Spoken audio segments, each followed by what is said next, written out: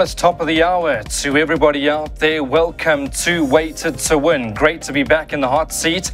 A big thank you very much uh, to Daryl and, of course, Clyde and Darren Burrows have been doing a good job on Weighted to Win. Hopefully, we can find you a few winners. Just a reminder about our social media strap. Pop us a message. We'd love to improve the product and hopefully we can tip you a few winners on today's program. Local racing takes us to the Western Cape.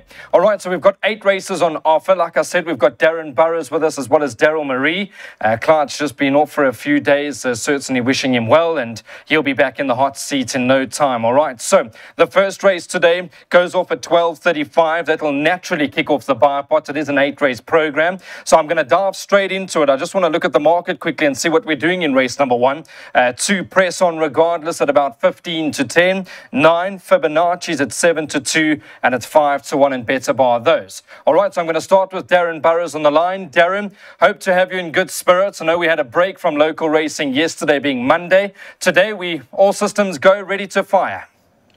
Yes, ready to fire, Brandon. And uh, starting in race one, there is a horse called Fibonacci, number nine on the card, the William Longsword out of a Trippi mare, first timer. There's plenty of market support, and I've uh, received numerous messages about uh, how classy this horse is uh, at home. So I wouldn't be surprised to see Fibonacci make a winning debut. He's obviously got press on regardless to beat, as he's had the two runs under the belt. All right, yeah, that's a, a, good comment coming through from Darren. Thanks very much to him. So, word is that uh, the Nanos can run a bit. The two year old Bay Colt, you'll be looking for the Pink Silks over there of the Stain family. And uh, we're going to go to Daryl Marie now and see what he likes in race number one.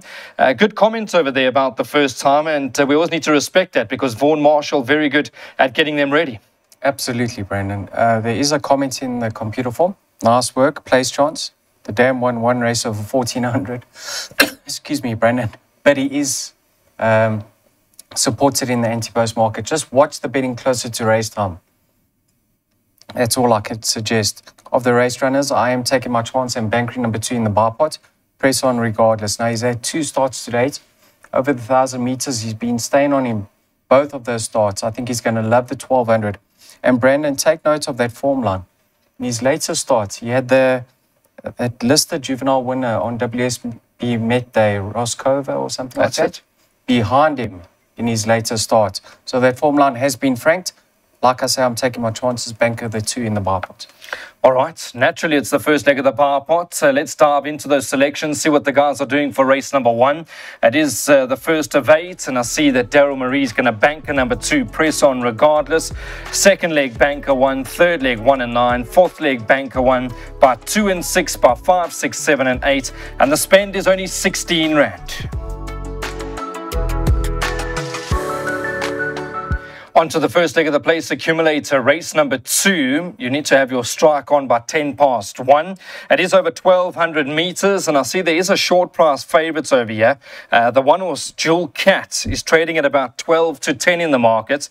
Uh, three Zoomies at 11 to 2, and it's 10 to 1 in better bar those. Straight to Darren Burrows we go. Darren, I see there's been a bit of support over here. I mean, Richard Fourie at the moment, he can do no wrong. He's riding at the top of his game. Is this going to be your first selection? I mean, 12 to 10 about number one, Jewel Cat? Um, Brandon, not much value about uh, Jewel Cat. Yes, the horse to beat as she's had the experience, but I wouldn't be rushing out to take 12 to 10. You know, she has uh, finished, he has finished unplaced in both his starts. Uh, Zumi could improve on that debut, went fourth behind the Abdicator. Uh, there's plenty of well-bred first-timers. I would include numbers six and seven, both being by Rafeef, a Vaughan Marshall first-timer and Dean Kannemeyer first-timer. But watch the market closely. Um, of the race runners, numbers one, three, four, and eight have to be included. Okay, so perhaps we play around, um, I think very skinny the source in the market. So we'll go and chat to Daryl Marina as well. Daryl, I just want to see, is there any room for this source Manchester fighter in your play? Brandon, have a look. He actually beat the favourite on debut. But then Jewel Cat reversed that quite convincingly in his second start. Now, Jewel Cat, prior to his debut, in the computer form, the comments were very, very upbeat. So they were expecting a decent debut and he delivered on debut with those two runs under the belt, I think he is the horse to beat. But uh, Darren has said there isn't much value in his current price. Brandon, that form line, Golden Tatiana came out to win the Trippy Stakes. So it also has been franked. Experience on his side, I'm happy to bank him in the PA. All right, lovely. Thank you very much uh, to both the guys. Um, yeah, Manchester Fighter at about 12 to 1, a possible inclusion for your swingers, trifectas, and quartets. Let's see what we're doing. First leg of the place accumulator. Selections up on your screen. Daryl Marie happy to banker the favourite number one, Jewel Cat in the first leg. Second leg, 1 and 9. Third leg, banker 1. Fourth leg, banker 6. By 5, 6, 7, 8. By 3, 4, 5, and 6. By 2, 3, 4, 12. And the spend's only 128 Rand. All right, it is the first leg of today's pick six. It all starts now in race number three, and this is obviously the bet we all want to catch. Uh, so make sure you get involved. Uh, we had a break from local racing yesterday, and we're looking forward to firing on all cylinders today. All right, so what I'm going to do is quickly give you the markets. Um, very short 14 to 10, number nine, Blue Holly. Uh, seven, Sidley, I think that's how we say it, at about six to one. 12 is at six to one, and the 14 is also at six to one. So uh, open race if you look past the So what I want to do quickly is go and link up with Darren Burrows, who's on the line. Uh, Darren, tell us a bit about this horse, Blue Holly. I thought there was a cracking run last time out, moved up a winner going through the last 200 metres. I know the yard spoke confidently on that occasion. Should be too good for them? Uh, close to a banker, uh, Brandon. I thought really good effort last time out. She pulled five lengths clear of the third runner that day, who was Sidley, number seven in this race. And uh, on pedigree, she's going to love the step up in trip. So uh, Keagan de Melo in the saddle, close to a banker. I've only gone 9 and 12. I added in Oni San. Now, she was beaten 2.75 lengths by Raskova on debut, and I think the 1,000 was a bit on the sharp side. So 9 and 12 should see us through. The improver in the race is Sidley, number 7. Okay, lovely. We will bring you a rerun as well of that uh, horse Blue Holly, who's trading now at about 13, 14 to 10 in the market. Let's go to Daryl Marie. Uh, Daryl, lovely run last time out. I actually remember they caught up with Glen Kotzen beforehand and they were upbeat of a big run, and these two horses kind of pulled five lengths clear of the third horse. Yeah, absolutely. They dominated the finish on that occasion. Um, there's no reason to believe she won't appreciate the extra furlong, the extra 200 meters having her third run, I mean, she must be very close to having peak piece and fitness on her side, Brandon. So I make her the filly to beat. I actually fancied her chances last time out because she caught the eye on debut. But one that definitely did catch the eye on debut, in my opinion, is number one, Strata. Now, she's got a lot of ground to make up, but we are going to show the viewers that replay, Brandon. Uh, she gets into the race very, very late, and she's well related uh, she's assisted to African Rain, a well above average sprinter himself. So I'm not saying that she'll be able to reverse that form, but in my opinion, she'll definitely go much closer this time around. So I'm going to tip them nine from seven. I mean, nine from one. Okay. Well, there we go. Um, we're going to have a look at that replay as well. Let's go and see what happened uh, with the source last time out, your favourites. Um, you can see the eventual winner, the Charleston, trained by Candice Bass-Robinson and Aldo Domeyer. On the extreme inside, got the green body with the red cap and Blue Holly directly next to it. In fact, Blue Holly is probably just in front for now, but the Charleston quickly gathers itself and comes hard. And you can see Sidley just in behind, racing with the red and white. And you won't see Strata for now, but that flash home to run fourth just behind um, uh, the eventual third placed runner. That was Sidley. Lovely run from the favourite Blue Holly, and I think going to take quite a bit of beating when it comes to the first leg of the pick six. All right, so let's go and see what we're doing with the pick six.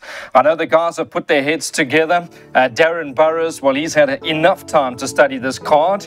Uh, this is his home base. He's based in the Western Cape, and he gets all the information we need. He's gone 9 and 12 in the first leg, so he's going to back up the favourite 9 Blue Holly with the 12 on his sand. Second leg 1, 2, 7, 8 and 11. By Banker 6 in leg 3. By 2, 3, 6, 7, 9. By the bigger Field in leg 5. By 1, 2, 3, 4, 5, 7, 8 and 12. And the spend is 3,200 Rand.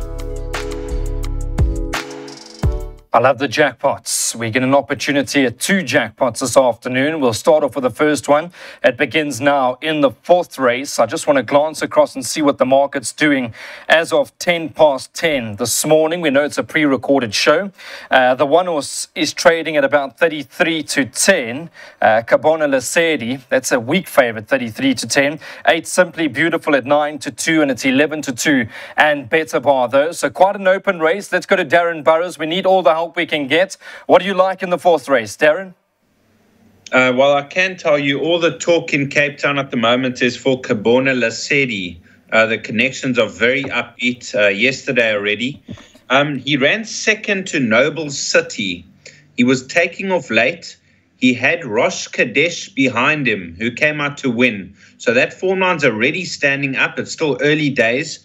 And if he can confirm that effort, because he did start 100 to 1, if he can confirm that effort, he's going to take all the beating. So Cabona Lesedi over Mighty Mac, who blew the start last time out. And I was quite surprised to see him run on for third. Uh, of the rest, Hawk Circle, Simply Beautiful, and Stella Eclavie. All right, yeah. Cabona Lesedi ran a good race last time out at about 100 to 1 in the market. I'm just having a look on debut, was 125 to 1. Um, let's go and chat to Daryl Marie. Daryl, always get a little bit worried um, when you see those runs 100 to 1, 125 to 1. Is it just a case of maybe doesn't show too much back at home? Well, I'll tell you something. His debut was very moderate, so it's no surprise to see him start the price he did in his second start. But he was a gin struck on that occasion. I'm sure the gin boys got a few swingers and trifectas.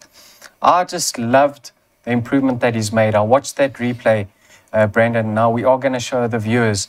And I thought he did extremely well to close in like he did in the finish. I mean, he pulled clear of the third place runner, which Darren said has already franked the form. The winner could be anything. Remember, he's related to the Grade 1 winner Battle Force. Um, I think having his peak run over the same track and trip, I make him very, very hard to beat. The danger I made was number seven, Hawk Circle. Um, very disappointing today, but comes back in trips, and they are trying to settle blinkers. So for me, I'm not looking past one or seven, or one and seven. All right. Yeah. Sounds like Daryl got a few of the places at 100 to 1 last time out. Um, let's go and see this replay. Daryl's going to talk us through it. Uh, Cabona Lesedi, well, that's your current favorite. You can see about four or five lanes off them. Rosh Kadesh is on the extreme inside, and uh, the eventual winner is going to start to work into the race with a big white blaze. Daryl? Yeah, Cabona Lesedi is actually on the extreme left hand side. Uh, look at his stride, Brandon. A huge stride on him, and watch how he quickens up in the latter stages. Um, I thought this was a very eye-catching performance. Yeah, there's definitely a lot more to come. You can see the winners off and gone like a dirty shirt, Noble City. Rosh Kadesh flattened out late, was a little bit slow into stride and made up the ground and then stopped, but has subsequently come out to win a good race. And the horse we're speaking about ran second there, Cabona Lesedi, and that was a cracking run. Going to take all the beating and could be some value at about 33 to 10. All right, so Daryl Marie's tipped us a jackpot. The first leg is gone 1 and 7, second leg 2 and 6, third leg 5, 6, 7, and 8, and the the last leg of the jackpot, he's gone 3, 4, 5, and 6. And the spend is only 64 Rand. Start of jackpot two. We need to get on quite early. Obviously, we all waiting, rearing to go when it comes to this local meeting in the Western Cape. Just a reminder again about our social media strap. Please jot down the details, pop us a message, and uh, we'll definitely get back to you. And more importantly, tip you a few winners on today's program. Hopefully, by this time, we're up a few South African rands. Uh, if you're punting overseas, hopefully you up a few, um, whatever the case may be, wherever you may be, maybe up a few pounds and you can send us a few. Uh, we'll jump into the selections here quickly and uh, have a look at the markets. I see six Supreme Dream, 15 to 10, two catches if you can at about 28 to 10, 9 to 2, the one Summer Night City, and it's 15 to 2 and better bar those. All right, so Darren Burrows on the line to help us. I tell you, Darren, you've got your followers out there. I got a few messages from guys that are actually watching from in America. Uh, they're watching from all over Europe. So they'll be on, they'll be supporting the game today. And you need to find us a few winners. What are we doing over here in the fifth race? Well, Brandon, I haven't tipped a jackpot, but I've tipped my best bet on the card. I thought the guys can bank this in their jackpot too, and they can have a bet. It's called Supreme Dream. I was very impressed with that last performance because I actually labeled Busy Lizzie on that occasion. And uh, she challenged Busy Lizzie the final 200 meters. I know it's a special weights race and she's giving weight away, but I just feel this filly could be a class above. So I thought Supreme Dream my best on the card. Supreme Dream.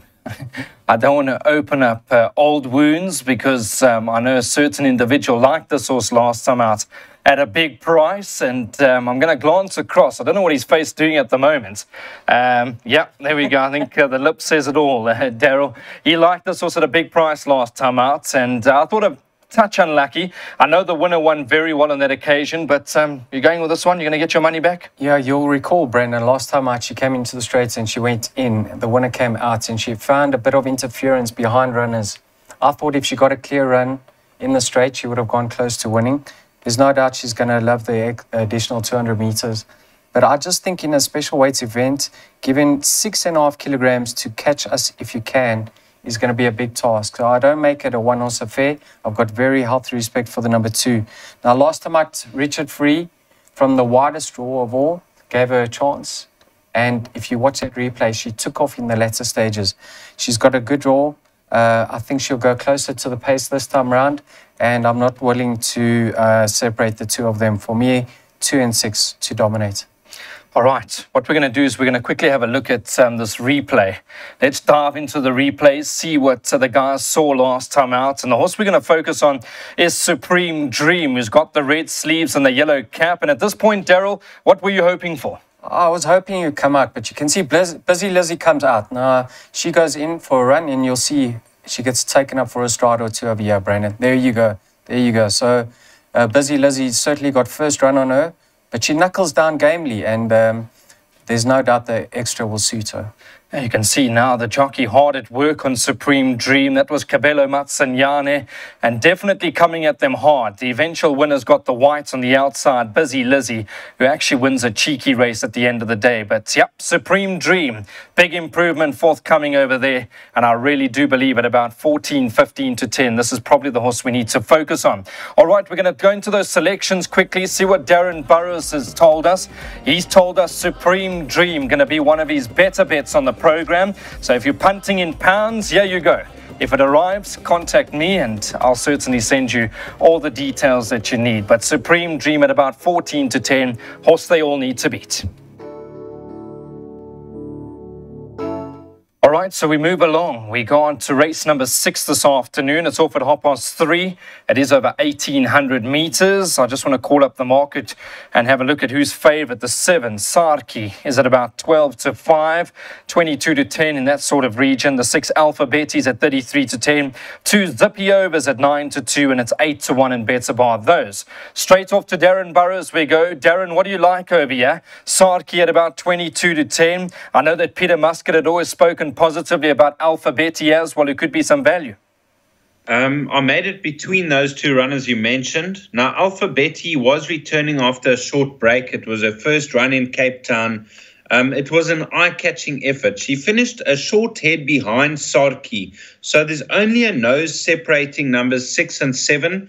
But I could see uh, Alpha Betty improving a lot from that effort. So if I had to um, favor horse narrowly, it would be Alpha Betty over Sarki. And then for minor money, a horse like Zippy over.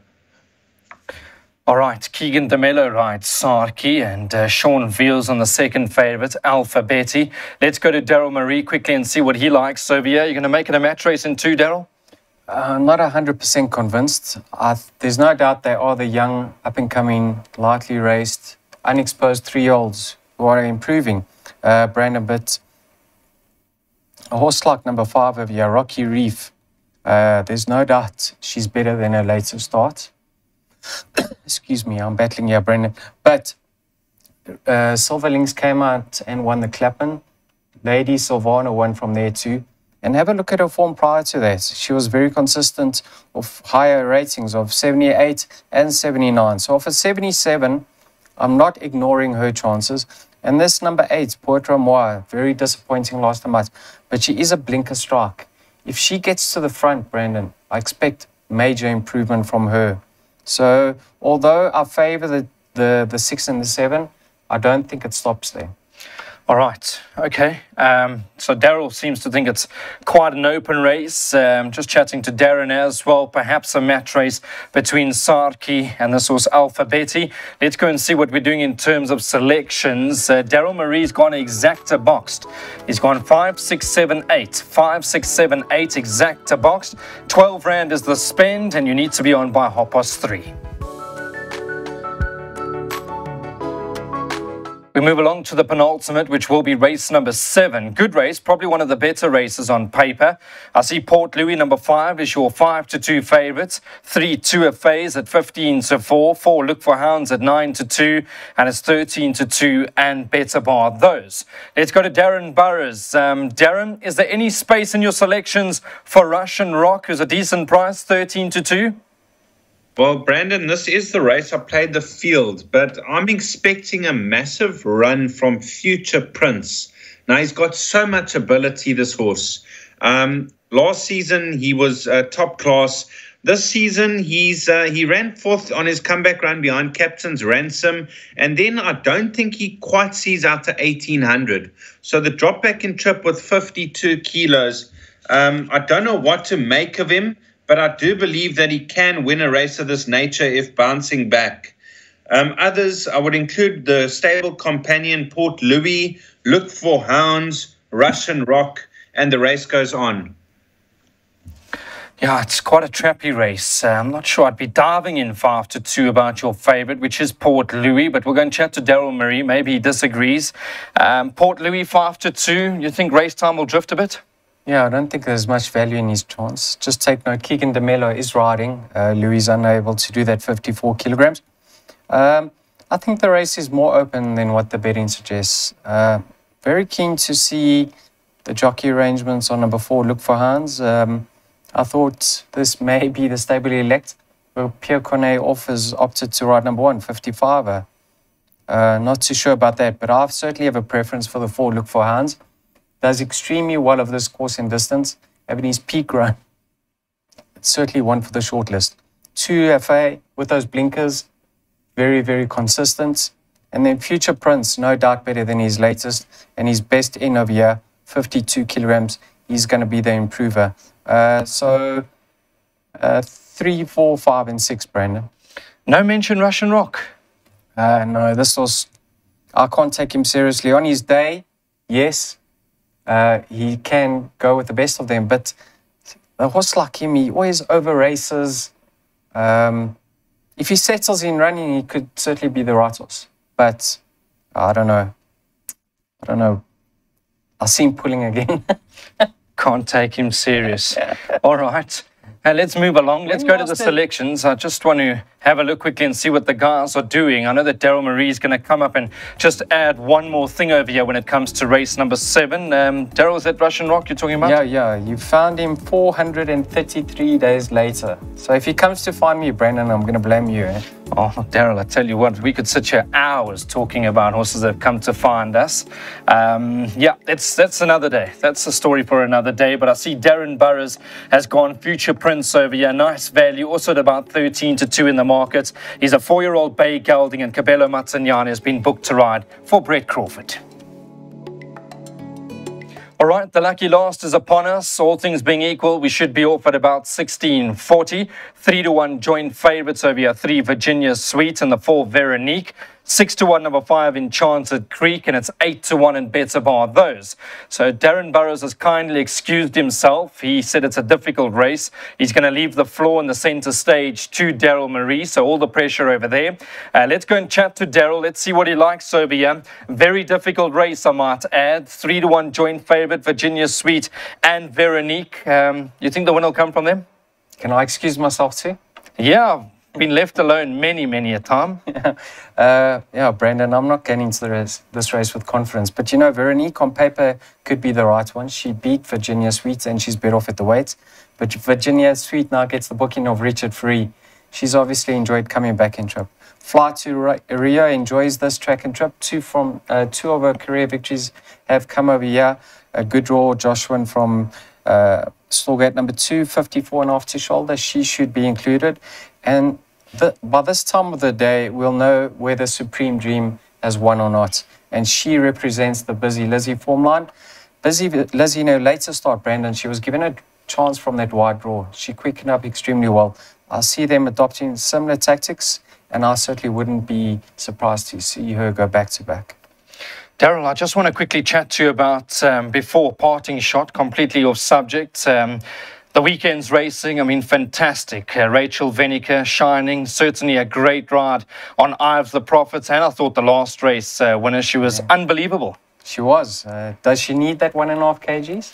Debatable, but um, I just think she's different class. I mean, yeah. she's such a humble human being as well. She deserves it. I'll tell you something. Some of that footage that was coming through from the course was outstanding. To see her pushing that horse's neck down and getting the best out of him was brilliant. I mean, she's really um, done extremely well, and uh, she can only improve. And uh, yeah, I'm all behind her.